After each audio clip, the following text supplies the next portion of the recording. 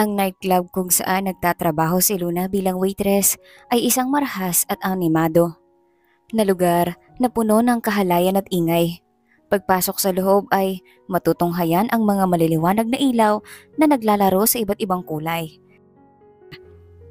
Lumabas si Luna mula sa likod ng bar corner at may hawak na tray ng mga inumin. Nararamdaman niya ang pagod sa kaniyang mga mata Ngunit nakangiti pa rin siya habang naglalakad patungo sa mga mesa ng mga customer. Kaya matulo na. Kailangan mong tiisin ng pagod para sa anak mo. Bulong ni Luna sa sarili. Isang single mother si Luna kaya talagang kailangan niyang magsumikap ng husto. Kumakaway ang isa sa mga customer na mayaman at mayabang.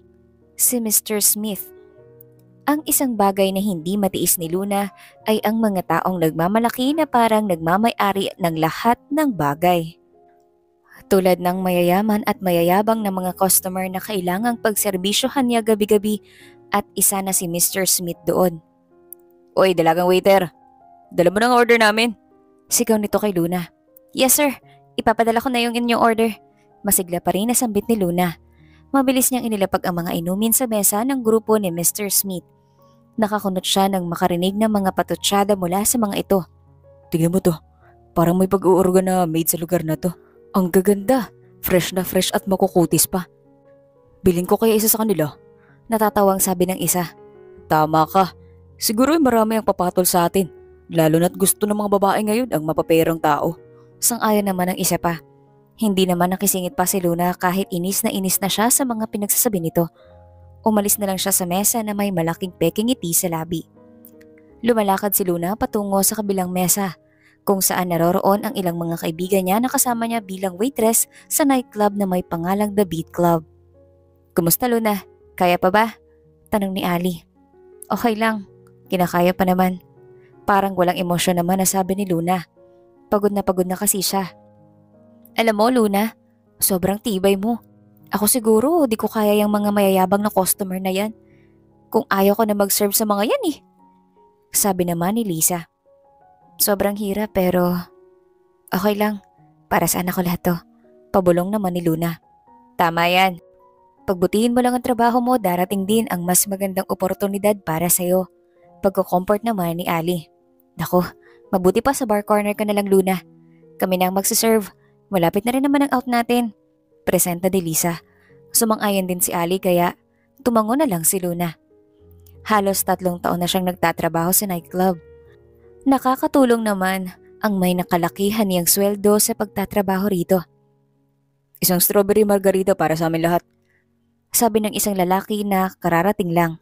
Hindi pamilyar kay Luna ang mukha nito. Ngayon lang yata niya ito nakita. Matapos ihain ni Luna ang order nito ay napatingin naman siya sa unahan niya. Ang dance floor ay sentro ng kasiyahan at pag-aliws ng nightclub. Makikita ang mga taong nag-aawitan at sumasayaw sa ritmo ng musika, kasabay ang pagsayaw ng mga multicolored na ilaw. Minsan, may mga special performance mula sa mga professional dancers na nagpapalakas ng kasiyahan at saya sa bar. Napatingin si Luna sa mga kaibigan na si Liz at Ali na naglilingkod ng may ngiti sa mga mesa, dala ang masasarap na pagkain at inumin. Mabilis ang mga itong tumakbo at mabilis na nag-aasikaso upang matiyak na masaya at kontento ang mga customer. Sa kabila ng ingay at gulo, nakakamtan pa rin naman ni Luna ang mga positibong karanasan ng paglilingkod sa mga taong masaya at nag enjoy sa pinagtatrabahuan niya. Inikot pa ni Luna ang tingin hanggang sa napunta ito sa lalaking nasa harap niya. May upuan kasi sa bar corner kaya pwede rito na uminom at siya ang nagbabantay rito. May problema ba? Tanong ni Luna sa lalaki dahil sa titig na titig ito sa kanya. Ah, uh, wala. Nagagandaan lang ako sa'yo. Nung pangalan mo? Ako nga pala si Noah. Pagpapakilala at sabay abot ng kamay nito. Napakunot naman ang noon ni Luna dahil sa mga sinabi nito. Napagtanto rin niya ang sinabi ni Noah kaya medyo nahiya naman siya dahil sa komplemento nito. In fairness, gwapo nito. Sa isip ni Luna. Ang gwapong lalaki na si Noah ay nakasuot ng formal na kasuotan na nagbibigay sa kanya ng air ng kalagayahan at elegante. May seryosong at maayos na forma ang kaniyang pananamit na nagpapahiwatig ng disiplina sa sarili. Mapapansin mo ang kaniyang malinis na kutis, maaring may kalakip na pabangon na nagpapahayag ng kaniyang pag-aalaga sa sarili. May matangos din itong ilong at mapupulang labi. Ang kaniyang buhok ay halos ayos na ayos, formal at may simpleng gupit. Inabot din ni Luna ang kamay niya. Ako si Luna, salamat sa compliment. Pwede bang makuha ang number mo? Medyo nabigla naman si Luna dahil sa diretsang tanong nito. Bakit mo gusto makuha ang number ko? Pabalik na tanong ni Luna kay Noah. Para ma-invite kita magkape.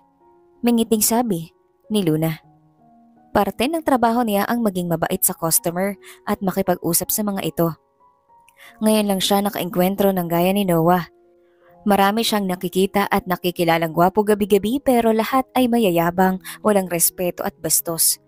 Sa nakikita ni Luna kay Noah ay formal lang ito. Mukhang tahimik at may dalang misteryo ang mga mata nito kay Luna. Ngumiti naman si Luna.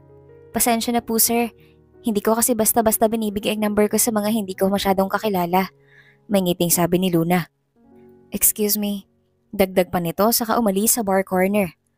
Oras na para umuwi si Luna, kaya sasabihan na niya ang mga kasama na aalis na siya. Sinundan lang si Luna ng tingin ni Noah hanggang sa makaalis na ito sa nightclub. Unang beses naranasan ni Noah na tanggihan ng isang babae. Pagpasok pa lang niya sa nightclub ay nakuha agad ni Luna ang atensyon niya at ngayon ay unti-unti nang nagiging interesado si Noah sa kanya. Naglalakad si Luna. Bagong araw na naman para pumasok sa nightclub. Dalawang taong gulang ang anak niya at may yaya rin ito sa tuwing aalis siya para magtrabaho gabi-gabi. Nakarating siya ng nightclub na nakakunot ang noo dahil may naaaninag siyang pamilyar na figura na nasa labas nito. Noah?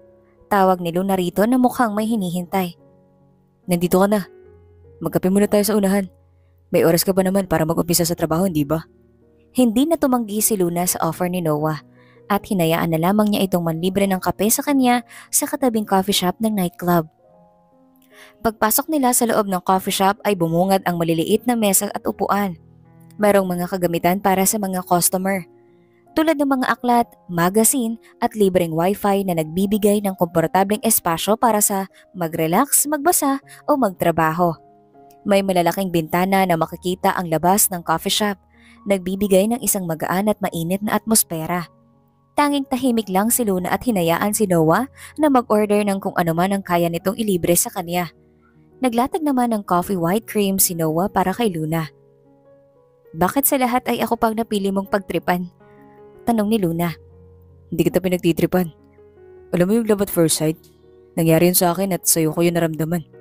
Napailing naman si Luna sa katiningnan ng seryoso si Noah na nakatingin din sa kanya. Single mama ko. May dalawang taong tulang na anak na lalaki. Kung ano man yung binabalak mo, wag mo nang ituloy pa. Hindi ako babaeng para sa'yo. Diretsahang sabi ni Luna. Hindi naman agad nakapagsalita si Noah at nag-isip. I'll be your baby's daddy.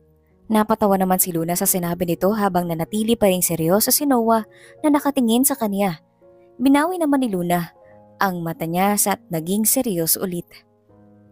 Hindi mo nga yata kayang iwan ng party lifestyle mo tapos gusto mo maging ama ng anak ko. Sinong niloloko mo? Kaya ako magbago. Ipapakita at paparamdam ko sa iyo yun. Ngayon ko lang din naramdaman to. Mahal na kita. Mahal na talaga kita. Handa akong maging ama ng anak mo at maging asawa mo. Muntik naman masamig si Luna sa iniinom niya dahil sa sinabi ni Noah.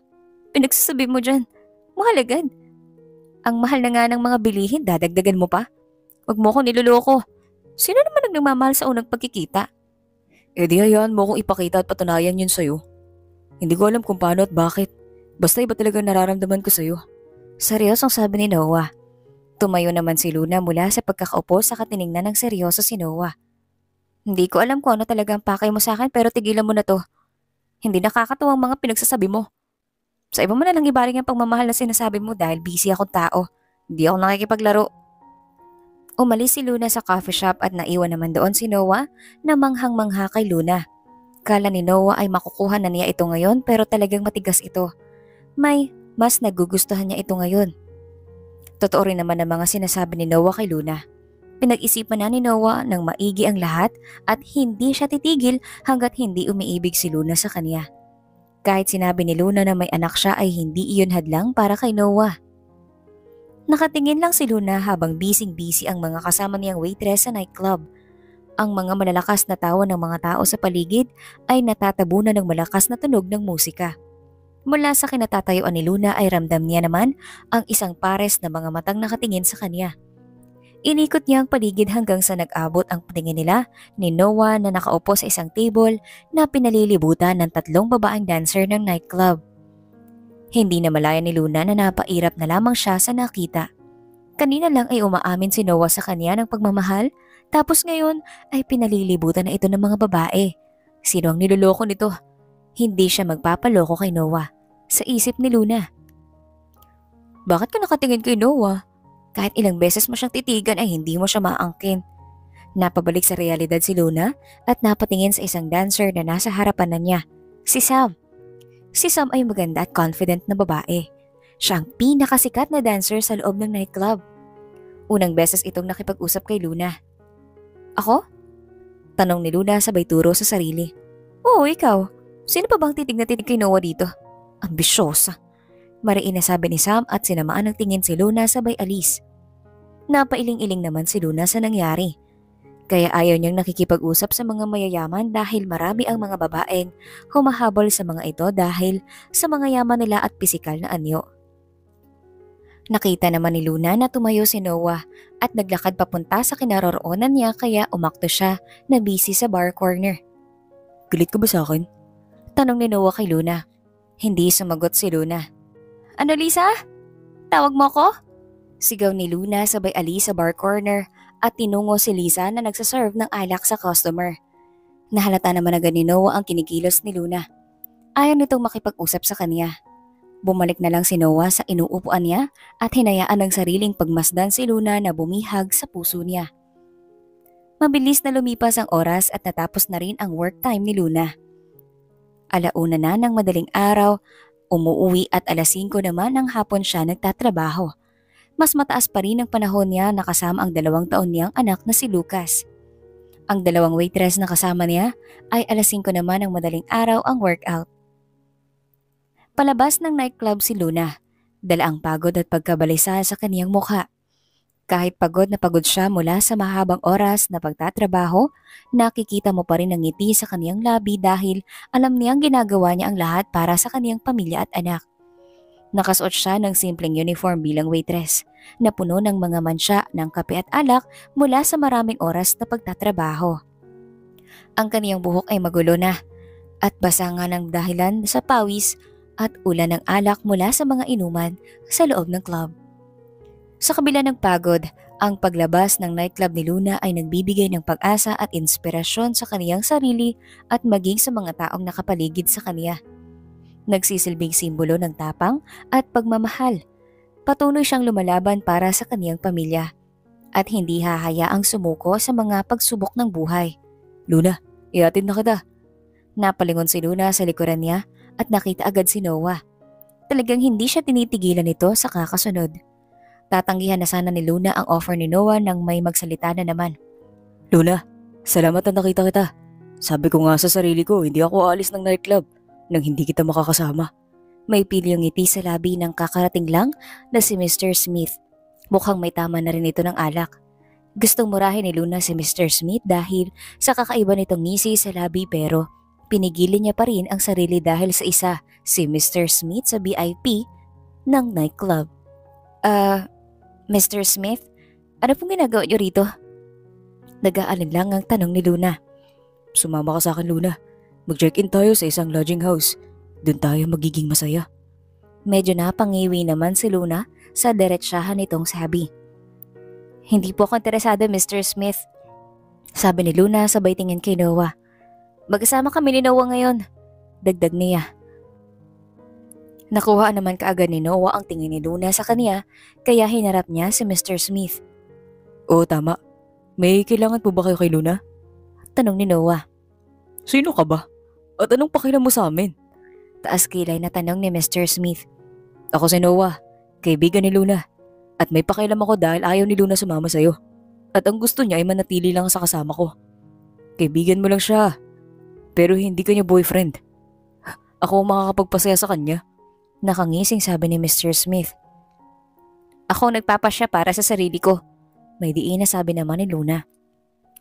Hindi mo kayang pilitin si Luna na gawin ang ayaw niya. Hindi siya isang bagay na maaari mong kunin kung gusto mo. Mariindi na sabi ni Noah. Sino ka para sabihin na hindi ko siya kayang kunin? Galit na usal ni Mr. Smith. Ako ang lalaking nagmamahal sa kanya at hindi ko siya pababayaang masaktan mo. Hindi naman makapaniwala si Luna sa diretsahang sabi ni Noah. Ang bilis lang nitong banggitin ang pagmamahal. Hindi niya alam kung tunay ba ang sinasabi nito o talagang pinaglalaroan lang siya. Bala ka Luna. Sayang ang pagkakataon na masasayang mo. Mainis na sabi ni Mr. Smith. Hindi sayang Mr. Smith. Sa'yo lang yun. May respeto pa rin ako sa inyo kahit papaano kaya sana wag nang maulit to. Seryosang sabi ni Luna. Nang marinig ni Mr. Smith ang determinasyon sa boses ni Luna at ang pagtanggol ni Noah muli ng iwas ng tingin si Mr. Smith at naglakad palayo. Nakahinga naman ng maluwag si Luna sa pag-alis nito. Ihatid na kita sa inyo. Baka ano pa mangyari sa'yo? Offer ni Noah. Wala na namang nagawa si Luna kung di ang sumakay na lang sa magarang kotse ni Noah. Hindi rin naman siguro masama na tanggapin ang tulong ng iba sa isip ni Luna. Salamat. Pabulong ni Luna habang nakasakay sa kotse ni Noah. Walang naman. Sabi naman ni Noah. Katahimikan ng namayani sa pagitan nilang dalawa hanggang sa makarating sila sa bahay ni Luna. Hindi malaki at hindi rin maliit ang bahay ni Luna na pinag-ipunan mismo niya. Dalawa lang sila ng anak niyang si Lucas ang nakatira sa loob. May isa silang yaya na umuwi kapag umaga. Madaling araw na pero kung gusto mong pumasok ipagtitimpla kita ng kape. Sabi ni Luna nang huminto ang kotse sa mismong gate ng bahay niya. Hindi tumanggi si Noah at agad na sumang-ayon na magkape dahil pagkakataon na niya ito para mas makilala si Luna.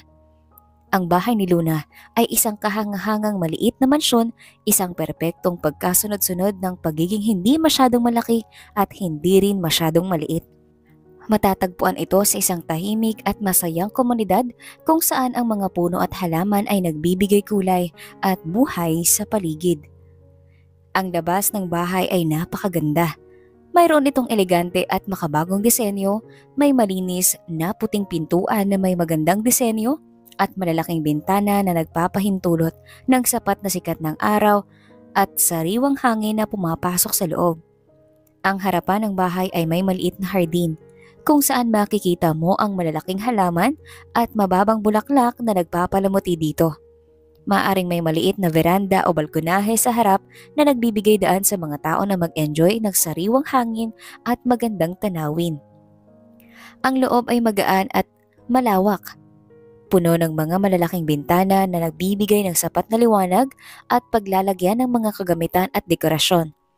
Ang sahig ay maaaring gawa sa magandang hardwood na nagbibigay ng warm at welcoming na pakiramdam. Ang mga silid ay marahil ay simple ngunit mayaman sa detalye.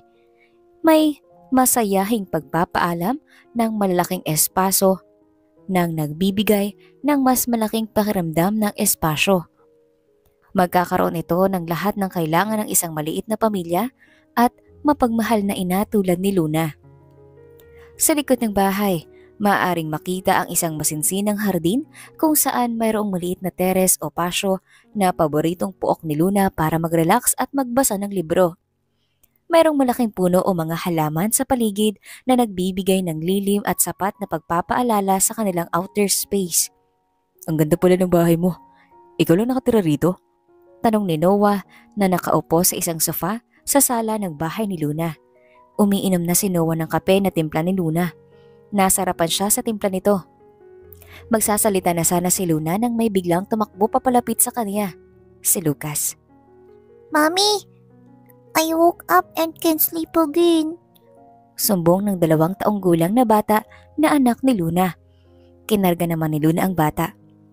Kasama kong anak ko at si Yaya Bell tuwing gabi. Kapag umaga kami, kami lang dalawa ng anak ko. Siya nga pala si Lucas, 2 years old. Nag-hi naman si Lucas kay Noah. Tumayo si Lucas sa kalumapit kay Luna. Napakunot ang noon naman ni Luna nang kunin ni Noah ang anak niya pero lumapit naman si Lucas kay Noah kaya hinayaan na lang ni Luna na kargahin ni Noah si Lucas. Hey Lucas, I'm Noah. Pwede mo akong maging daddy. Gusto mo ba yun? Napaawang naman ang bibig ni Luna sa biglang sinabi ni Noah sa bata. Agad na tumango si Lucas. Yaya, ihatid mo muna si Lucas sa kwarto ko. Susunod ako. Ihatid ko lang ang bisita ko sa labas. Utos ni Luna sa yaya na nakasunod kanina sa anak niya. Sumunod din naman ito. Gusto pa sanang makipagtalo ni Lucas pero sinabi ni Noah na dadalaw siya ulit kaya kumawala rin ito. Nasaan ang tunay niyang ama? Tanong ni Noah habang nakatingin sa batang si Lucas na karga-karga ng yaya na naglalakad na sa second floor ng bahay kung saan nahasaan ang mga kwarto. Ang chismoso mo masyado. Bakit ko naman sasabihin? Pabalik na tanong ni Luna. Hinatid ni Luna si Noah palabas ng gate ng bahay niya. Well, hindi na rin naman mahalaga sa akin yun. Babalik ako rito at hindi pa rin nagbabago ang desisyon ko. Malinis ang intensyon ko sa'yo, Luna. Kaya wag mo sana akong agad bastidin. Seryosong sabi ni Noah kay Luna. Hindi naman agad nagsalita si Luna dahil simula noong nalaman niyang nabuntis siya ay isinara na niya ang puso niya sa pag-ibig. Hindi ko alam kung sino ang ama ng anak ko. May kaunting impormasyon akong alam sa kanya pero hindi ko siya hahabulin. Kaya naming mabuhay ng anak ko nang wala siya. At hindi ko alam kung kaya ko bang buksan ang puso ko para sa pagmamahal na sinasabi mo. Worry, hindi naman ako nagmamadali. Hiyan mo lang ako na may pakita ko sa yung intensyon ko. Ilang hiling ko, Luna. Hindi na nagsalita pa si Luna at umalis na rin si Noah. Nanatili naman si Luna na nakatayo sa labas ng gate ng ilang minuto. Ano ang magiging desisyon niya sa sinabi ni Noah? Panibagong araw, panibagong pagod na naman ang nasa isip ni Luna habang naglalakad papasok sa nightclub. Ilang hakbang na lang bago siya tuluyang Makapasok ay bigla na lamang may humila sa buhok niya kaya hindi siya natuloy sa pagpasok. Mabilis naman na hinila ni Luna ang buhok niya mula sa babaeng nang hila sa kanya. Nagwagi naman si Luna dahil mukhang mas malakas siya kaysa sa babaeng humila bigla sa buhok niya. Ikaw ba? Ikaw bang pinalit ni Noah sa akin? How dare you? Para akitin siya. He's mine! Pandudurong sabi ng babae. Hindi makapaniwalang inayos ni Luna ang nagulo niyang buhok sa kahinarap ang babae. At sino ka para sa bunutan ako ng buhok? Alam mo bang pwede kitang kasuhan sa harassment na ginawa mo? Sigaw ni Luna. Ayaw ni Luna ng away at unang beses nangyari ito sa buong buhay niya. Ayaw niya ng gulo at away pero kapag inuunahan siya ay talagang gaganti siya. Wala akong pakialam. Layuan mo si Noah. Kung ayaw mo magkandaleche-leche ang buhay mo, pagbabanta ng babae. Ikaw lumayo sa akin.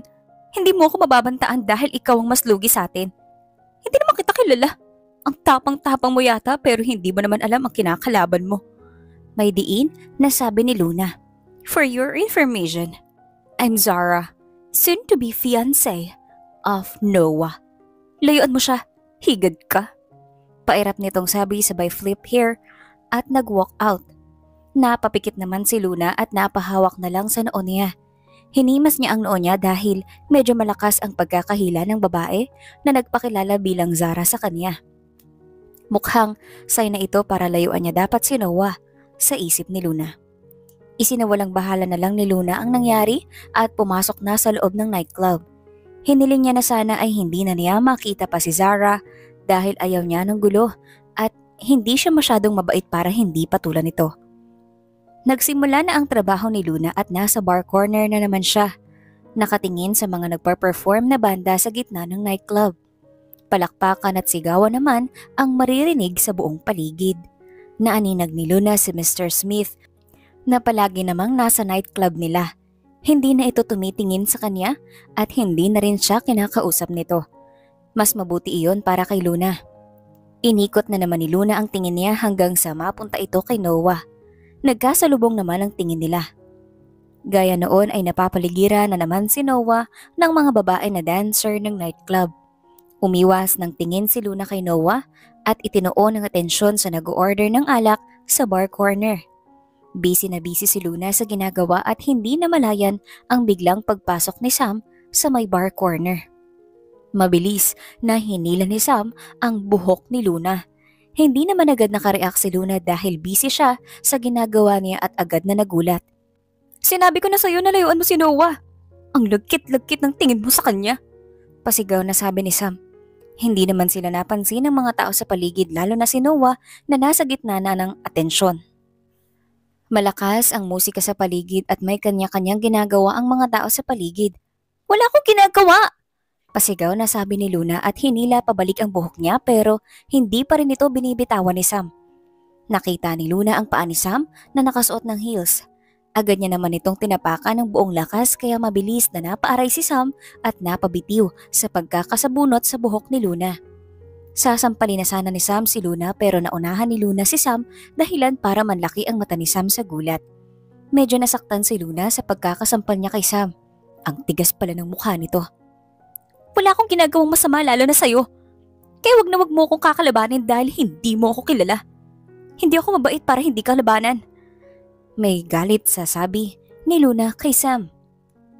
Ayaw ni Luna sa lahat ang inaaway siya agad at hindi pinag-uusapan ng problema. Ayaw niya sa mga bayolenteng tao. Ano nangyayari dito? Biglang sumulpot na naman si Lisa sa bar corner. Ayusin mo yung kaibigan mo. Landi-landi. Seryosong sabi ni Sam kay Lisa bago umalis sa bar corner.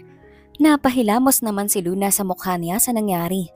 Una ay sinabunutan siya ng future fiancé daw ni Noah tapos ngayon naman ay si Sam na baliw na baliw kay Noah. Sino na naman ang susunod na sasabunot sa kanya na may connection kay Noah? Ayos ka lang Luna? Hindi ko kayo agad nakita. Anong ginawa ng bruhang yun sa'yo? Tanong ni Lisa. Napabuntong hininga na lang si Luna at umiling-iling. Ayaw niyang madamay pa si Lisa sa nangyayari kaya hindi na lang siya sasabihin dito ang nangyari. Ayos lang ako Lisa, bumalik na tayo sa mga gawain natin. Tanging sabi ni Luna.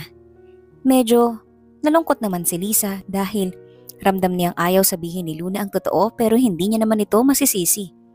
Sa dami ba naman ng nangyari sa buhay ni Luna ay napakahirap na sa kanya ang magtiwala pa. Sa murang edad ay nagtatrabaho na siya para sa pamilya Nagkaroon nga siya ng magandang trabaho pero nabuntis naman siya ng isang estranghero na hanggang ngayon ay hindi niya mahagilap. Mabilis na lumipas ang oras at out na nga ni Luna. Naghanda na rin siya para umalis. Nagpaalam na rin siya kay Ali at Lisa. Palabas na ng nightclub si Luna nang may biglang tumawag sa pangalan niya. Luna, sandali! Hindi siya lumingon at naglakad ang habang pumapara ng taxi. Sandali! Tuluyan ang napahinto si Luna nang may humawak sa kamay niya. Nilingon niya kung sino iyon at gaya ng inaasahan ay si Noah nga iyon. Ano na naman bang kailangan mo? Mainis na tanong ni Luna. Totoo nga na komportable siya kay Noah at hindi naman ito ganon kasama tuwing kasama niya ito pero malas na malas ang buhay niya kapag mas lumalapit siya rito. Akala ko ba ay ayos na usapan natin? Pabalik na tanong ni Noah.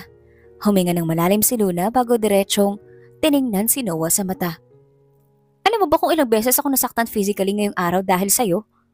Una sinabunutan ako ng future fiancé mo raw na si Zara. Pangalawa si Sam. Ang sumabunot sa akin. Ayoko ng gulo Noah. Hindi naman sa ayaw ko silang harapin. Ayoko na labanan sila. Iba ako magalit ng husto at marami pa akong iniisip na problema para dagdagan mo pa. Kaya pwede ba? Layuan mo na lang ako please. Akala ni Luna ay madadala si Noah sa mga sinasabi niya pero hindi. Si Sarah. Eh hindi ko fiancé. Ex-girlfriend ko siya. I'm sorry. Hindi na yun mauulit. Hindi na siya makakalapit sa'yo. And Sam? Your dancer sa nightclub? Hindi ka na rin niya masasaktan. Ipatatanggal ko siya sa nightclub. Seryosong sabi ni Noah. Napahilot naman sa noo si Luna. Noah, hindi ko pa alam kung anong mangyayari na may connection sa iyo. Hindi ka nga masyadong kilala at mas mabuti pa. Mas mabuti na yun. Dahil madali nating matatapos to. Kahit wala ka namang naumpisahan. Hayaan na lang natin ang isa't isa. Tsaka wala na akong panahon na para sa mga pag-ibig na yan. Dahil nasaan ako lahat ng atensyon ko. Tanggap ko yun. Tanggap kong anak mo. Sinabi ko na 'di ba? I'll be your baby's daddy. Hayaan mo lang ako. Luna, bigyan mo ako ng pagkakataon. Gustong gusto na talaga ni Luna na mag-walk out pero may respeto pa rin siya kay Noah kahit papaano dahil naging mabait din ito sa kanya. Bukas pa ang coffee shop. Let's talk. Sasabihin ko sa lahat ng tungkol sa sarili ko. Hindi naman nagsalita si Luna sa sinabi ni Noah. Hindi na niya talaga alam kung ano ang gagawin. Namalayan na lang niya ang sarili na nakaupo sa isang upuan at katapat niya si Noah. May mesa sa gitna nila at nasa coffee shop sila katabi ng nightclub. Madaling araw na at kaya naman ang yaya na alagaan ang anak niya pero ngayon lang siya hindi umuwi agad sa kanila. Hindi alam ni Luna pero parang may humihila sa sarili niya na pakinggan ang mga sasabihin ni Noah sa kanya. Ako si Noah Hill, ang may-ari ng nightclub na pinagtatrabahuan mo. Panimula ni Noah. Muntik namang mahulog si Luna sa inuupuan niya sa tabi nito. "A- ano? Hindi makapaniwalang tanong ni Luna. Titig na titig siya kay Noah. Kumakabog ng mabilis ang puso niya. Hear me out, okay? Nag-iisang anak lang ako ni na mom and dad. Namatay sila dahil sa airplane crash 3 years ago. I was devastated kaya natuto akong malulong sa alak and parties. Noon yun, Luna. Nung nakita kita sa nightclub ko ay nagbago na ako. Yes, pumupunta ako sa nightclub pero hindi ako umiinom. Tinitingnan lang kita ron. Unti-unti namang naikuyom ni Luna ang mga kamao niya. Hindi niya alam pero halo-halo ang nararamdaman niyang emosyon ngayon. Galit, puot, sakit, lungkot at pagkadismaya. Ayos ka lang ba? May nasabi ba ako mali? Bakit ka umiiyak, Luna? Natatarantang tanong ni Noah.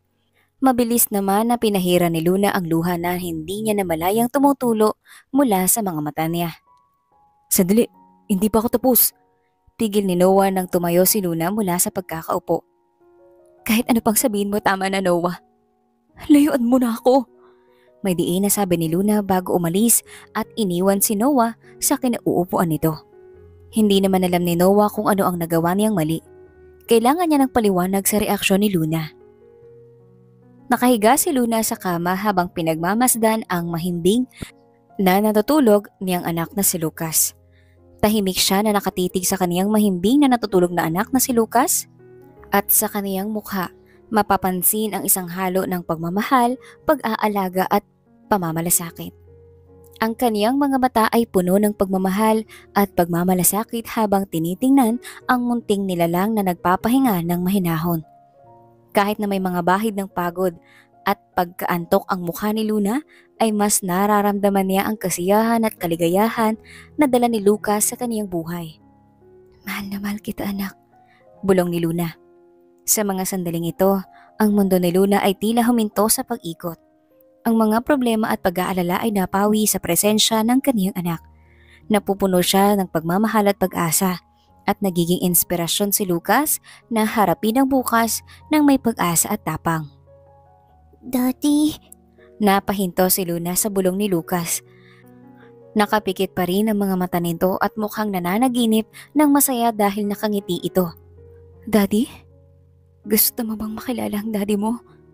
Hindi naman kita pinagkakait sa kanya anak pero hindi ko pa kaya. Bulong ni Luna habang hinihimas ang buhok ng anak. Nakita ko ng daddy mo anak. Hindi ko alam kung nakilala niya ako pero sana hindi. Dagdag ni Luna. Tama. Nakilala na nga niya ang daddy ng anak niya. At iyon ay si Lucas. Naalala niya pa 3 years ago, sobrang linaw pa ng mga nangyari noon. Unang araw ni Luna sa trabaho niya sa nightclub. Binigyan siya ng isang gabi na matulog sa isang VIP room sa nightclub. Pinasok siya ng kung sino. Hindi makita ni Luna dahil madilim. Natutulog siya pero nagising siya. Noong una ay nagpumiglas siya pero hindi niya alam, bigla na lamang sumunod ang katawan niya sa ginagawa ng estranghero sa kanya. Doon, nabuo si Lucas. Alam ni Luna sa sarili na may kasalanan din siya sa nangyari dahil hindi siya nanlaban ng husto pero mas sinisisi niya ang lahat ng estranghero. Pagising niya ay noon ay nalaman niya na ang pumasok sa VIP room kung saan siya natutulog ay ang may-ari ng nightclub. Alam niyang si Noah iyon dahil ramdam niya na pamilyar sa kanya ang presensya ni Noah. Ayoko rin naman na lumaki ka na walang ama kaya gagawin ko ang makakaya ko anak para magkaroon ka ng buo at masayang pamilya. May ngiting sabi ni Luna sa kahinalikan sa noo ang anak. Inayos niya ang kumot nito. Kinaumagahan araw ng Sabado ay walang trabaho si Luna. Sabado lang ang bakante niya at binibigay niya lahat ng oras niya sa araw na ito sa anak niyang si Lucas. Katatapos lang nila mag-agahan at naglalaro na ang mag-ina sa sala. Umuwi na ang yaya at bukas ng hapon na naman ito babalik dahil bukas may trabaho si Luna. Nasa sala si Luna at ang kaniyang anak na si Lucas. Naglalaro sila ng isang masayang laro ng tagutaguan. Ang sala ay puno ng tawanan at kasiyahan habang sila'y naglalaro sa isa't isa. Saan kaya nagtago si Lucas? Siguradong mauhuli ko siya. Pilyong sabi ni Luna. Humagikik naman ng tawa si Lucas. No, Mommy! No! Sabi ng bata na sinasabing hindi siya agad mahuhuli ni Luna. Nagpapanggap na nag-isip naman si Luna. Hmm, saan kaya siya? Baka nasa ilalim ng mesa? Huminga si Luna ng malalim at yumuko. Pagkatapos ay biglang nagpunta sa ilalim ng mesa ngunit walang nakita. Hindi ka nga madaling mahuli. Maliit na bata. Natatawang sabi ni Luna. Hindi ako mahuli, Mommy. Sabi ni Lucas. Dalawang taong gulang pa lang ito pero matalino itong bata at halos buo na ang salitang binibitawan nito. Biglang tumakbo si Lucas papunta sa kabilang bahagi ng sala. Papalayo kay Luna. Hindi ka nga mahuhuli. Sigurado nasa likod ng sofa. Mabilis na tumakbo si Luna papunta sa likod ng sofa at nang tumingin siya, nakita niya si Lucas na may malakas na tawa. Mommy, mukhang nahuli mo na ako. Masayang sabi ni Lucas at itinaas ang dalawang kamay. Mabilis naman na tumakbo si Luna sa kinaroroonan ng anak at kinarga ito sa kakiniliti. Tumawa naman ng husto si Lucas sa ginawa ni Luna. Ilang sandali lang ay napahinto si Luna nang marinig ng tunog ng doorbell mula sa gate ng bahay niya. Binaba niya naman ang anak at sinabing manatili muna sa may sofa at titingnan niya kung sino ang pumipindot ng doorbell. Wala naman siyang inaasahang bisita ngayon. Lumabas si Luna at tinungo ang gate ng bahay. Nang makalapit ay nakita niya naman ang isang pamilyar na figura. Noah? Gulat na tawag niya sa pangalan nito. Binuksan niya naman ang gate at si Noah nga ang bumungad sa kanya. May dala itong isang bouquet ng flowers. Anong ginagawa mo rito? Tanong ni Luna. Gusto sana kitang makausap. Seryosong sabi ni Noah at inabot ang bouquet ng rose kay Luna. Hindi naman kinuha ayon ni Luna. Itataboy na sana siya ni Noah nang may biglang sumigaw mula sa likuran niya. Si Lucas. Daddy! Umupo si Noah para sa lubungin ng bata at mabilis na kinarga ng yakapin siya nito. I miss you! Sabi ni Lucas. Really? Namiss na kita. Hindi ako mahilig sa bata pero parang gustong gusto na kita. Masayang sabi ni Noah. Iniwas naman ni Luna ang tingin sa dalawa dahil kung titingnan ng mabuti ay talagang mag-ama sila dahil magkahawig sila. Ang makinis at maputing balat, kulay ng mata at hugis ng ilong ni Lucas ay kaparehas ng kay Noah. Gusto mo bang mamasyal? Tanong ni Noah kay Lucas na agad din namang tumango. Tumingin si Noah kay Luna. Pwede ko ba siyang hiramin? Hindi naman makapaniwala si Luna sa tanong ni Noah. Hihiramin? Anong akala niya sa anak niya? Laruan? Sasama ako, tanging sabi ni Luna.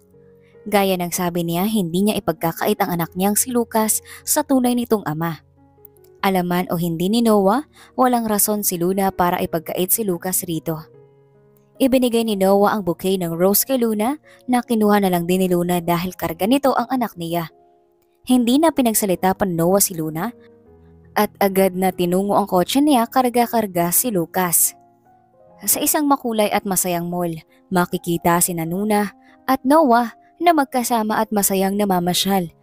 Si Noah ay may hawak sa maliit na shopping bags at siya ay may ngiti sa labi habang masaya niyang kinakarga si Lucas, ang anak ni Luna. Si Lucas ay masaya at taimtim na nakangiti habang nakayakap sa leeg ni Noah. Masaya rin si Luna hindi niya pinapakita na punong-puno siya ng pasasalamat at pagmamahal habang tinitingnan ang dalawang kasama niya. Unang beses niyang nakita ang anak na halos ilang oras nang nakangiti. Habang naglalakad sila, napansin ni Luna ang mga kapaboritong tindahan ni Lucas at agad niya itong ipinakita kay Noah. Nagsilakihan ang mga mata ni Lucas sa tuwa at inudyukan si Noah papunta sa tindahan. Namamasyal din sa mall si Luna kasamang anak niya noon kaya may mga paborito na itong tindahan lalo na sa mga tindahan ng laruan. Sa loob ng tindahan Masigasig na nag-ikot si Luna, Noah at Lucas na may ngiti sa kanilang mga mukha habang namimili ng mga bagay na magugustuhan ni Lucas. Ano anak, gusto mo ba tong bagong laruan? Tanong ni Luna kay Lucas. Oo, Mami. Gusto ko yun. Sige, kunin mo na yan Lucas. Dahil mabait ka ngayong araw, libre ko lahat ng gusto mo sa store na to. Masayang sabi naman ni Noah. Hindi mo naman kailangan gawin yon. Marami naman akong pera pambili ng kailangan ng anak ko. Minsan lang naman Luna. Don't worry, hindi ko naman aagawin ang anak mo sa'yo. Biro ni Noah sa huling sinabi niya. Hindi ba talaga? Paano kung malaman ni Noah na anak niya nga si Lucas? May chance na kunin niya ito mula kay Luna. Hindi na nakipagtalo si Luna kay Noah dahil baka kung saan pa mapupunta ang usapan. Sa nakikita rin niya ay mukhang walang ideya si Noah tungkol sa kaniya. Kinalimutan na ba nito ang pagsasalo nila ni Luna ng gabing iyon? Matapos mamili, nagpasya silang magmerienda sa isang malapit na kainan sa mall, sa isang maluwag at masayang mesa. Masayang kinakain nila ang kanilang mga pagkain habang nagkukwentuhan at nagtatawanan. Ang pag-aalaga ni Noah kay Lucas ay kitang-kita at ito'y isang patunay sa kaniyang pagmamahal kay Luna. Sa bawat tingin at galak ni Lucas, ramdam ni Luna ang kaligayahan na dala ni Noah. Ang ganda at sarap sa pakiramdam na nakikita niya ang anak na masayang masaya. Kung ganito lang sana parati, mabibigay niya ang buong pamilya para sa anak niya. Hindi pa rin sigurado si Luna sa reaksyon ni Noah kapag nalaman nito na anak niya si Lucas. Ano ang gagawin nito? May posibilidad kasi na iwanan sila ni Noah at napakasakit nun sa anak niya. Hindi pa rin makumbinsi ni Luna ang sarili na buksan ng puso lalo na't may galit pa rin siyang nararamdaman kay Noah. Sa pinapakita naman ito ngayon ay hindi naman masamang tao si Noah kay Luna. Nang magdesisyon ng tatlo na umuwi ay naaninag naman ni Noah ang isang photo studio sa mall. Mag-picture tayo dun. Parang bata na excited sabi ni Noah habang karga si Lucas. Hindi naman napigilan ni Luna si Noah nang mabilis itong tinungo ang photo studio. Hahayaan na sana ni Luna na kumuha ng litrato ang dalawa nang hilahin siya ni Noah papasok sa loob ng isang maliit na photo studio. Wala nang nagawa pa si Luna kung di ang sumabay sa post ng dalawa niyang kasama. Pagkatapos ay pumili sila ng magandang background at pumili ng maganda at kakaibang props para sa kanilang litrato. Hindi naman maiwasang mapansin ni Luna ang pagkakahawig ng itsura ni Lucas at ni Noah sa litratong nakuha. Tignan mo Luna, kamukha ko talaga si Lucas dito. Para siyang mini version ko. Natatawang sabi ni Luna. Hindi alam ni Luna kung talaga bang totoo ang mga salita at kilos ni Noah at hindi man lang nagtataka kung bakit magkamukhang magkamukha sila. Ako ang mami niya, kaya ako ang kamukha niya. Huwag kang assuming, sabi naman ni Luna. Oo na, sabi mo eh. Sabi naman ni Noah at pinisil ang pisngi ni Lucas. Nang lumabas ang kanilang litrato, hindi mapigilan ni Luna na mapangiti ng lihim. Hawak-hawak ni Noah ang picture nila habang papalabas ng mall. Ang gwapo natin dito, di ba Lucas? Proud na sabi ni Noah kay Lucas na karga niya. Tumango naman ang bata. Mommy, me, and Daddy. Masayang sabi ni Lucas at tinuro ang picture ng tatlo. Gusto mo talaga akong maging daddy? Sabihin mo sa mami mo para forever mo na akong daddy. Pabulong ni Noah kay Lucas. Humagikik naman ang bata. Nako Noah, tigilan mo ang pagsulsult mo sa anak ko at baka masapa kita. Umuwi na nga tayo. May inis na sabi ni Luna. Siya ang may dala ng ibang shopping bags na pinamili nila dahil karga nga ni Noah si Lucas at lahat ng nabili nila ay halos gamit at laruan ni Lucas. Umuwi na rin sila sa bahay ni Luna. Sa isang magiliw at malinis na kusina, si Luna ay masigasig na nagluluto ng hapunan nila. Maririnig ang mahinang ingay ng mga kawali at ang masarap na amoy ng mga niluluto niya. Habang nagluluto, hindi mapigilan ni Luna na maging mapagmataas at masayang titigan ang kaniyang anak na si Lucas habang naglalaro kasama si Noah. Pagkatapos mamasyal sa mall at mag-shopping ay pinilit ni Noah na manatili sa bahay ni Luna at dito na maghapunan. Ayaw ni Luna ng mapilit na tao pero dahil gusto rin ng anak niya, hinayaan niya na lang si Luna. Handa naman siya na hindi ipagkait ang anak sa ama nito pero Hindi niya inaasahan ang pagiging mas malapit ng mga ito sa isa't isa. Nag-iisip si Luna ng paraan para masabi kay Noah ang totoo kaso umaapaw naman ang takot sa puso niya. Sa sala, pansin na pansin naman ni Lucas na punong-puno ng saya habang kasama si Noah. Sila'y naglalaro sa mga bagong laruan na binili ni Noah para kay Lucas at kitang-kita sa mukha ni Lucas ang tuwa at kasiyahan. Mukhang masayang masaya talaga si Lucas kasama si Noah. Bulong ni Luna. Habang iniisip ni Luna ang kanyang anak at si Noah, tuloy-tuloy pa rin ang pagluluto niya. Masigasig siyang naglalagay ng mga pagkain sa mga pinggan at nag-aayos ng kanilang hapunan. Lucas, halina kayo. Luto ng hapunan. Pasigaw na sabi ni Luna nang makahain na sa mesa sa may kusina. Ang bango naman ng pagkain. Ang sarap mo siguro magluto, no? Bungad ni Noah sa kusina habang hawak kamay sila ni Lucas na pumasok doon. Hindi nagsalita si Luna at tinulungan ng anak na umupo sa upuan. Seryosong seryoso ka talaga sa pagiging daddy ng anak ko no? At nakikikain ka pa rito sa amin. Sabi ni Luna. Bakit? Mukha ba ako natitrip dito? Seryoso nga ako. Mukhang wala namang problema ang anak mo sa akin. Ikaw na lang, Luna. Umupo si Luna sa tabi ng anak habang katapat naman niya si Noah.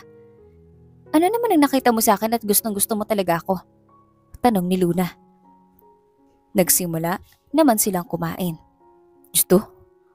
Sinabi ko na mahal na nga kita. Tsaka nakita ko sa'yo lahat. Mabait, maganda, responsable. Hindi marte at bonus ang may anak na napaka-cute na kumukha ko pa. Don't worry, Luna. Hindi naman ako mahirap mahalin. Basta tanggapin mo lang ako na nasa harap mo ngayon.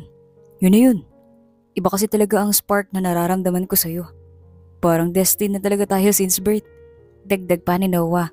Seryoso si Noah habang sinasabi ang mga katagang iyon kaya hindi talaga makita ni Luna rito ang pagbibiro. Hindi na nagsalita pa si Luna at nagpatuloy na sa pagkain. Tulog na si Lucas sa kwarto ni Luna at ngayon ay nasa labas siya ng gate ng bahay. Uuwi na si Noah. Salamat sa masarap na hapunan at sa pagpayag na makipaglaro kami ni Lucas. Pinalaki mo talaga siya ng matalino at mabait na bata. May ngiting sabi ni Noah. Salamat din. Nag-enjoy ng husto si Lucas na kasama ka.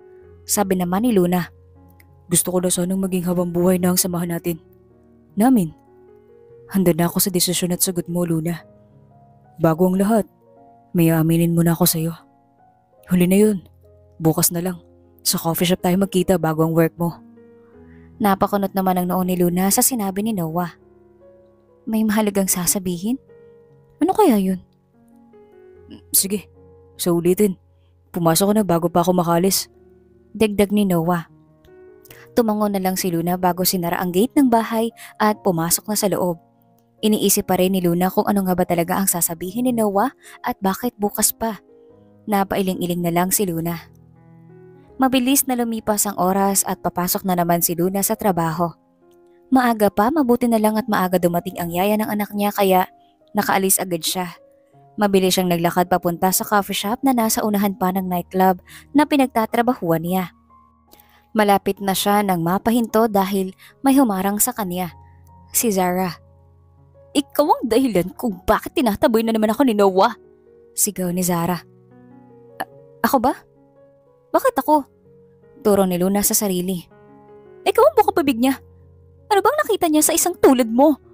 Sigaw na naman ni Zara sabay sugod kay Luna. Mabilis na umiwas si Luna dahilan para madapa si Zara sa sementadong daan. Anong nakita ni Noah kay Luna? Siguro ay totoo ang sinabi ni Noah kagabi na tinadhana yata sila ang dalawa. Huling beses na to Zara. Hindi ka naman fiancé ni Noah. Wala akong ginagawang masama sa'yo.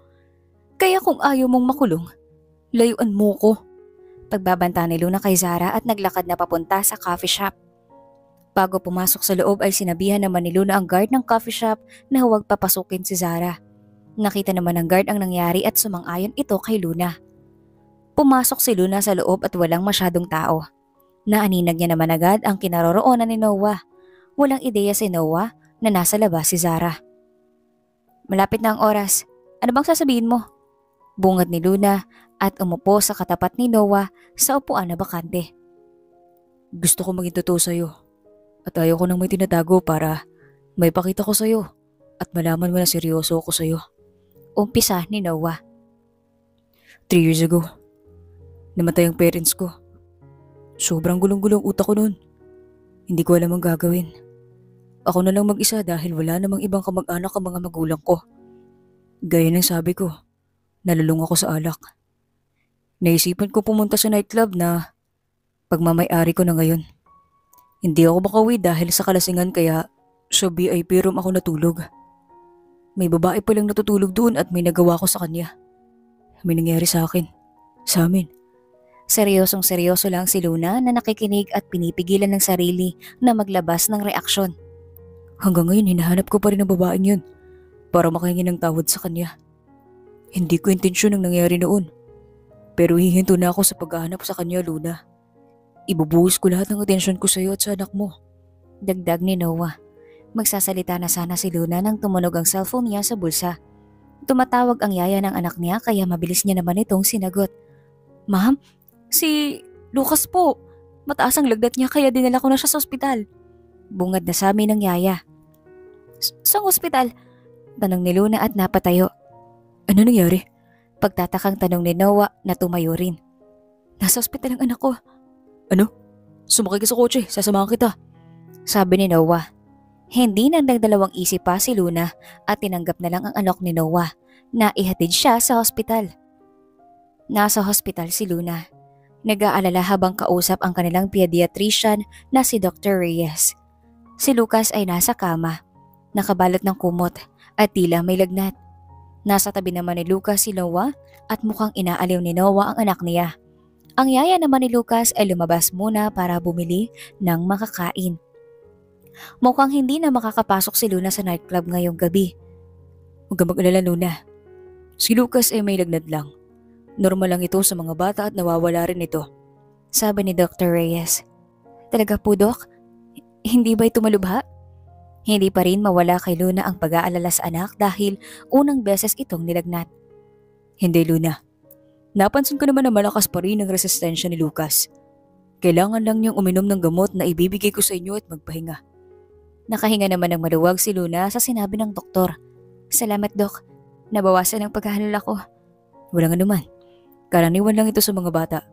Siguraduhin lang nating uminom si Lucas ng gamot at magpahinga para bumuti agad ang kanyang pakaramdam. Oo, Dok. Gagawin ko po lahat ng kailangan niya. Maraming salamat po sa pag-aasikaso. Walang anuman, Luna. Kung may katanungan ka man o may kailangan, huwag kang mag-aatubiling sumanggunit sa akin.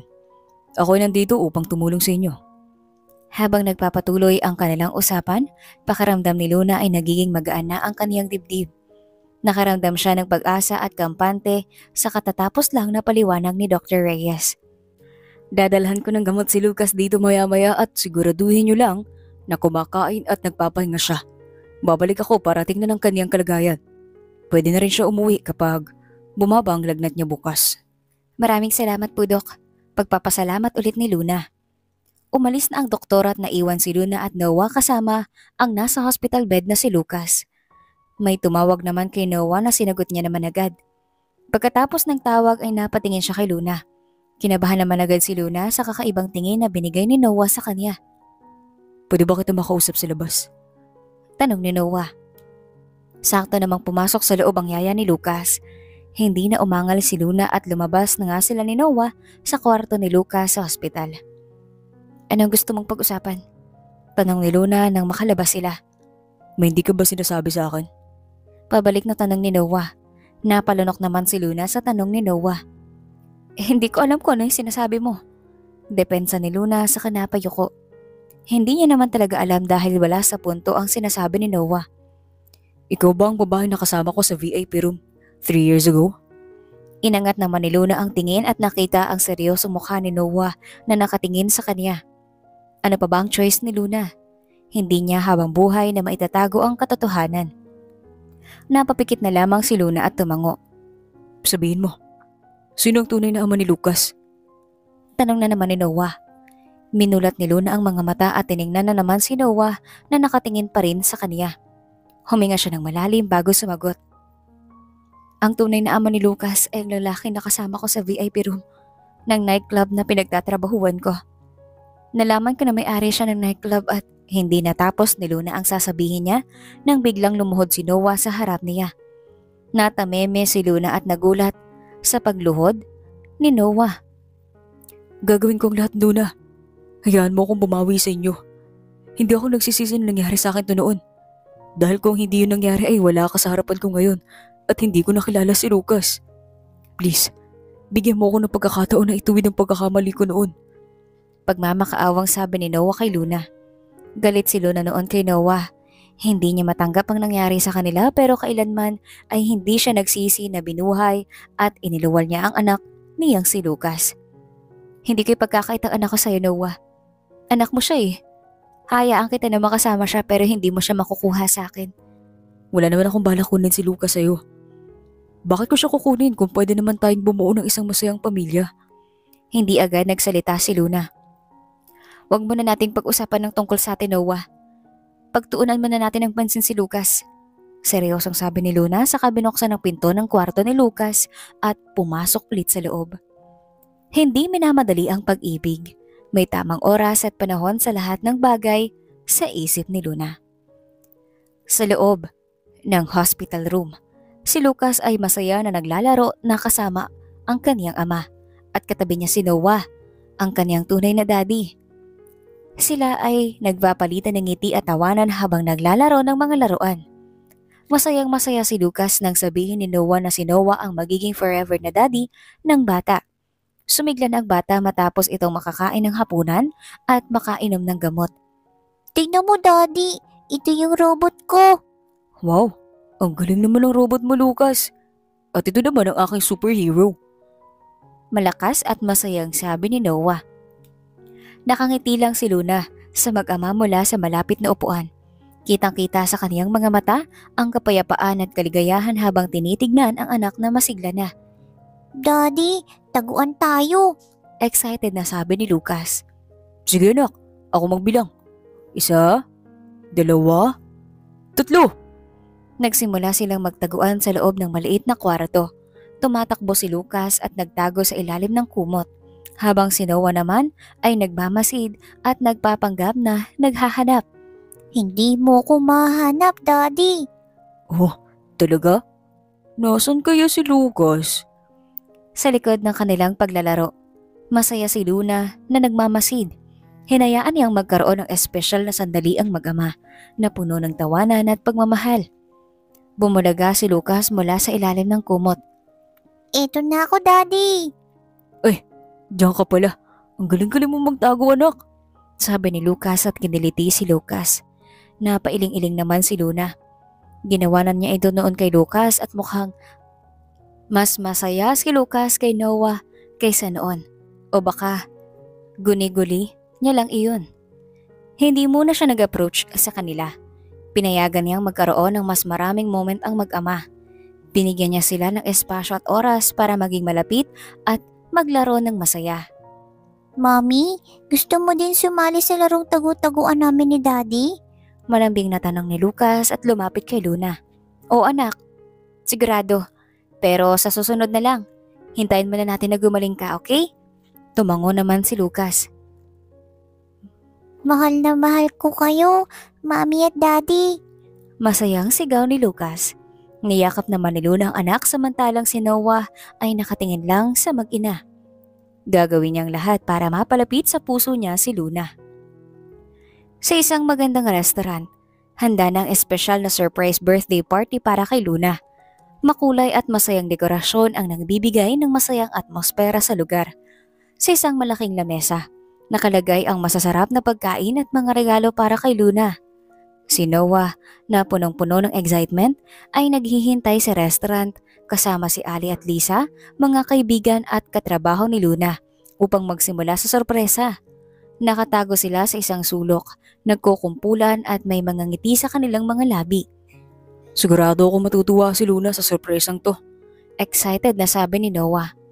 Oo nga Noah, magiging masayang masaya siya na magkakasama tayo dito. Sang-ayon naman ni Ali.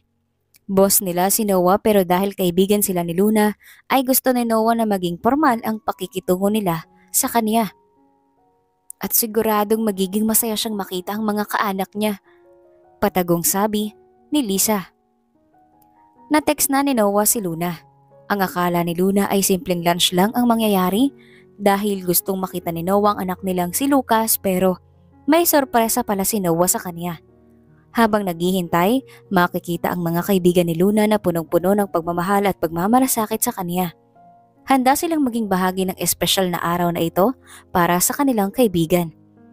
Pagdating ni Luna sa restaurant, agad siyang binati ng masiglang, Happy birthday! mula sa lahat. Napakamot siya sa ulo sa pagkagulat at ang kaniyang mukha ay nagliwanag dahil sa tuwa ng makitang kompleto ang mga taong mahalaga sa kanya. Anong nangyayari? Bakit kayo lahat nandito? Gulat na tanong ni Luna. Kinuha naman ni Noah si Lucas na karga-karga ni Luna papasok ng restaurant. Surprise Luna. Happy birthday. Maligayang bati ni Noah. Pumalakpak naman si Lucas. Sa wakas at nandito ka na. Happy birthday, Luna! Bati ni Ali. Maligayang kaarawan, Luna. May ngiting sabi ni Lisa. Naglalakad naman papunta kay Luna ang mana niya. Maligayang kaarawan anak. Sumunod naman ang papa niya. Maligayang kaarawan iha. Sumunod ang bunsong kapatid na lalaki ni Luna. Maligayang karawan ate. Sorpresa ito para sa'yo. Ang gwapo at yaman pala ng daddy ni Lucas. Nakangiti nitong sabi.